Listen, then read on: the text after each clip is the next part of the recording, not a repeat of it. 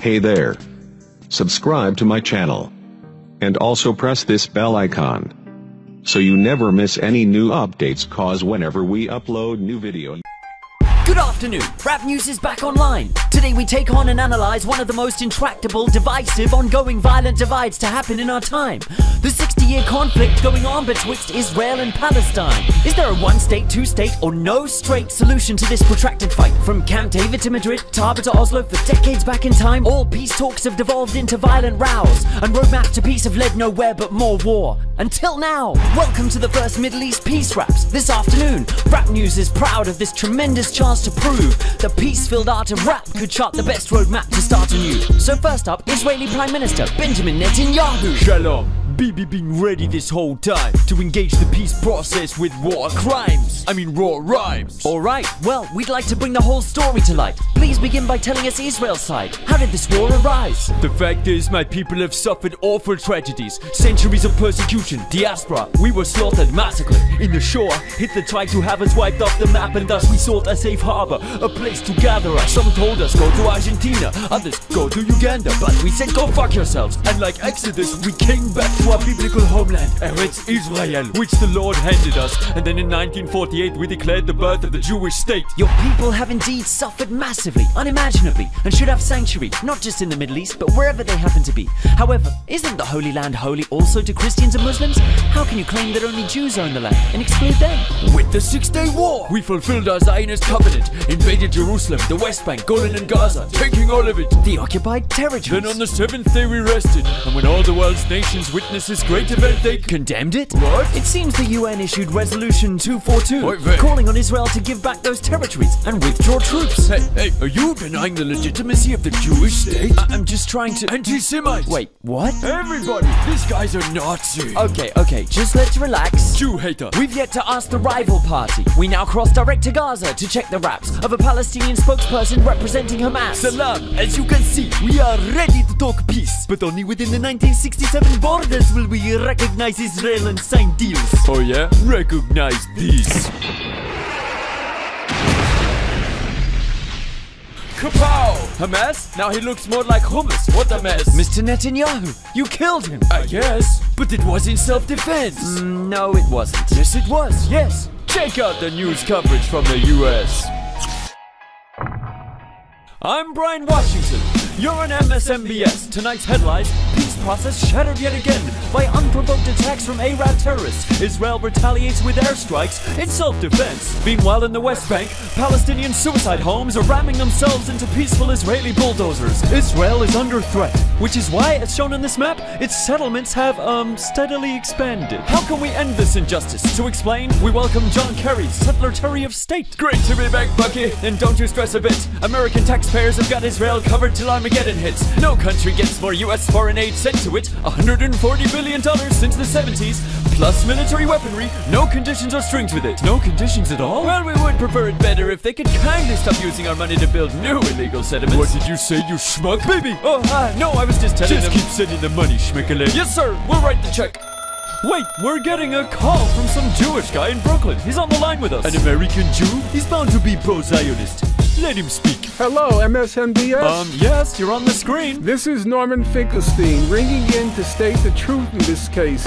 Israel is a lunatic state. It's no excuse to steal Palestinian land because Jews suffer genocide at Hitler's hands. A self-hating Jew. Everybody, this guy's an Ashkenazi. Shut up, Bibi. And I also condemn American policy of funding the theft of Palestinian territory.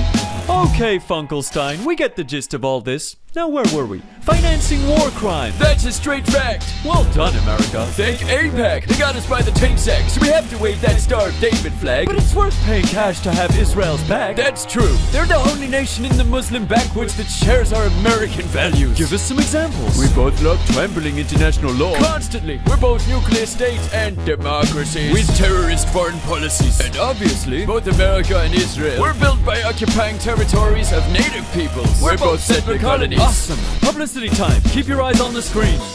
Hey, I'm Scarlett Johansson, and my real job is promoting illegal occupations. It's easy.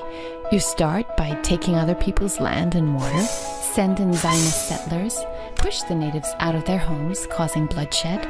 And look, settlers' dream, better for Israel and all of us.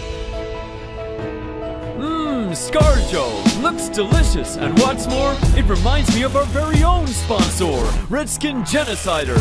Flavor of the American nation. Bloody good. Tasteful. So, Israel is a settler colony, like Canada, America, and Australia! Ah, our colonial assessor is in the area. Does Israel pass the test, Kenovka? Kenovka? Yeah! I'm in Jerusalem. And what's going on over there? I'm celebrating the day of Israel's birth, Yom Ha'atzmaut, which roughly translates to Australia Day. And wow, it's like back home, Barbies, flags, beers. So in solidarity, I got the end of me knob chopped off. It's patriotic, apparently. What do Palestinians make of this day? I don't know, eh? Hmm, perhaps you should ask them. Okay, I'll ask the natives. Wait. Oi, hello, can you hear me? Salam! Hey, how do you celebrate this wonderful day? We natives participate with smiling face in this party, mate. Just like your aboriginal people on invasion day. And I was cast out from the lands of my mom and my father. Now I dance as an outcast to the bombs over Gaza. بينادوا يوم الاستقلال احنا بننادي النكبة And we sing Israel, your independence is our Nakba. Sounds great. I love a party with a snack bar. Not a snack bar, crocodile Dundee. Nakba. It means a catastrophe. Anti-Semitic. It's far from truth. We are far from home. Zionism is far from Jews. How can I explain it to you? We lost our rights that day. and our barbecues No Barbies? That's a tragedy. How can we help yous? بي دي اف يعني مقاطعة هاي الطريقة اللي بيستجم في تل أبيب زي اللي استجم في جنوب أفريقيا. ساعدنا نوقف جنون المستوطن ساعدنا نبني دولة فيها شوية منطق. مش دولة اليهود بل دولة لليهود. للمسيحية للمسلمين ليوسي لعبود لجيريس ولميل جيبسون. وات ذا فاك شو خص ميل جيبسون؟ Well, it seems that despite the use of rap and rhyme, we failed to seal a real peace deal between Israel and Palestine.